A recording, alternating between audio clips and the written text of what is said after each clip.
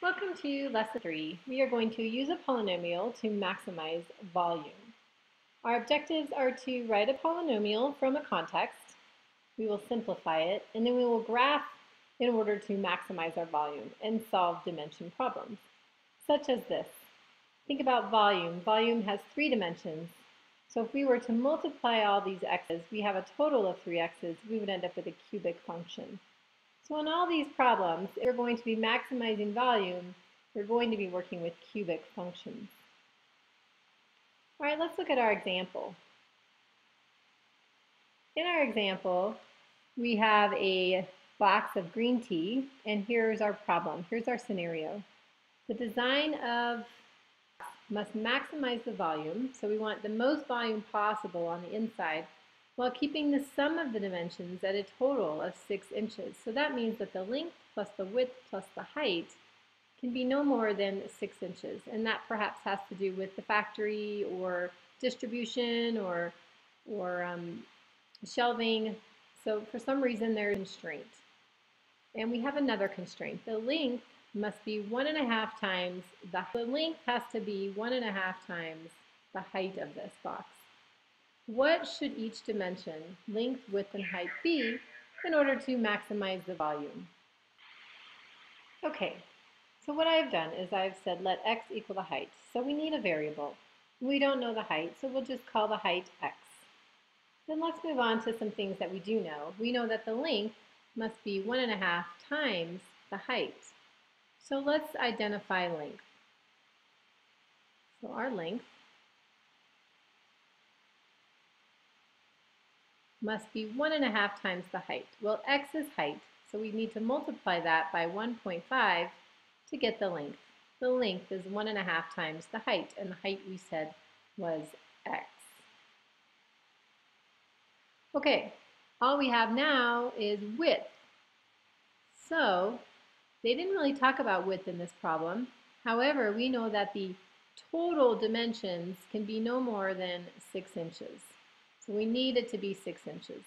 So if we start with 6 inches, our width is going to be 6 inches minus whatever we already took up here with the height and with the length. So we are going to subtract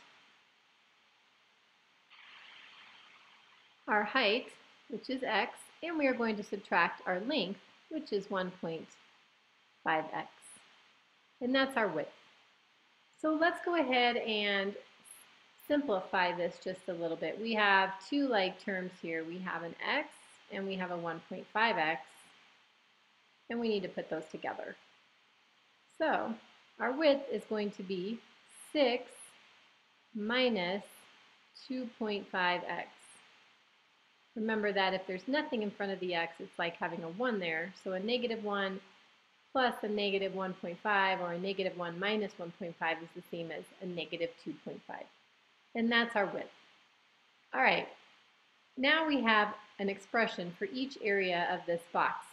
So we could write those here in on this. We know that our width is 6 minus 2.5x. Actually, let's change that color a little bit so we can see it better.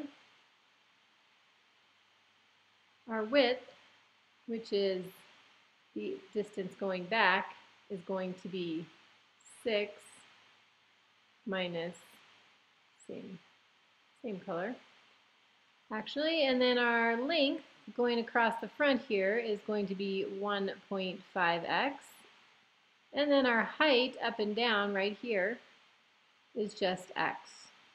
So our width, let's make that a little clearer, is here, our length is here, and our height is here.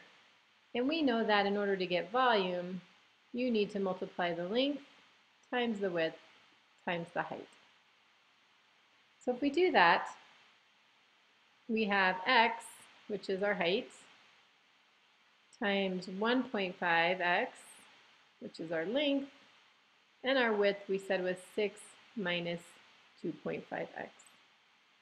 So now we have a polynomial function that's not quite in standard form, and so we just need to simplify it and use our math skills to do that. So we would multiply x times 1.5x to get 1.5x squared.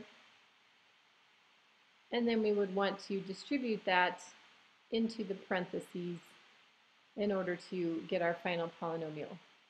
So if we distribute that, 1.5 times 6 is going to be 9 x squared, and then 1.5 times 2.5 is going to be, and I'm going to use a calculator for that one just to make sure I get it right.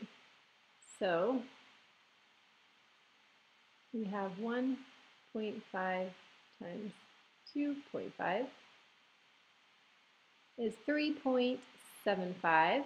So that's 3.75 x cubed. Okay, and there is our polynomial, and if you'll notice, that is a cubic function, which it should be.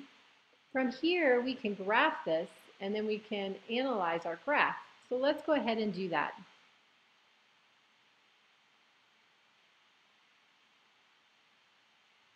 Okay, I went ahead and I went to Desmos and I graphed that function, and this is the graph that I got. So you can see it's a cubic, and you can see that because it's mathematical, the ends continue on forever. So this end continues on indefinitely here, and this end continues on indefinitely down here.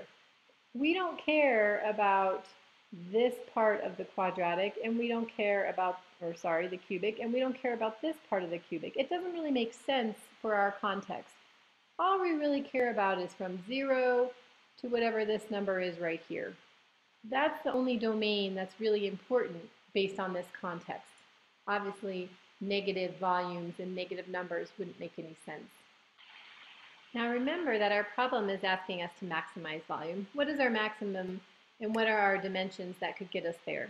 Well, looking at this, looking at this graph, let's define our axes first of all. So our x-axis, if we look back to the original problem, we said that x was equal to height, and our y is v here, which would be our volume. So back on our graph, we can label our x-axis as height. Let's go ahead and do that. So this is our height. I'll just put an h here. And our y-axis is our volume. So looking at this point, 1.6 right here approximately is the height that would get us a maximum volume of 7.68. So we know from this graph that we cannot have a volume of any more than 7.68 in our tea box. And in order to do that, we would need a height of 1.6. So let's write that. This is what we know right now. So our height is going to be 1.6. Now let's go back and look at what we called our length and our width. So our length is 1.5 times our height. So we can come over here and we can write our length as 1.5 times x. And remember that x is our height, so times 1.6. We can solve to get that.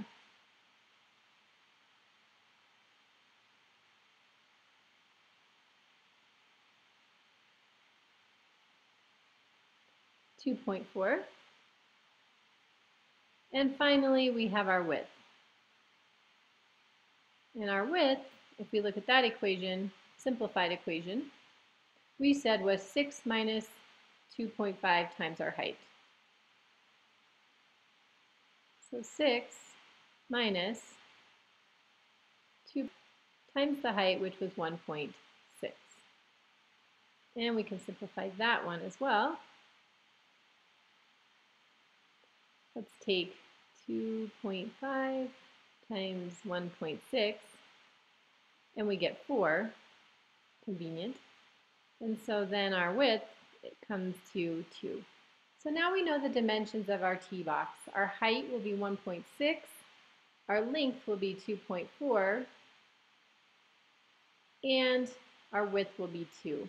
And those are the dimensions based on the constraints that we need in order to maximize a volume of 7.68. And that concludes our lesson on how to maximize volume. So you will see in your practice some examples that are similar, an example that's very similar to this, and then you'll see an example that's a little bit different.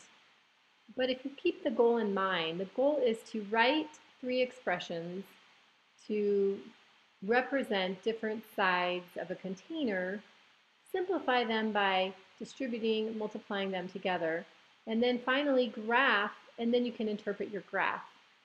And you should be very successful at this assignment.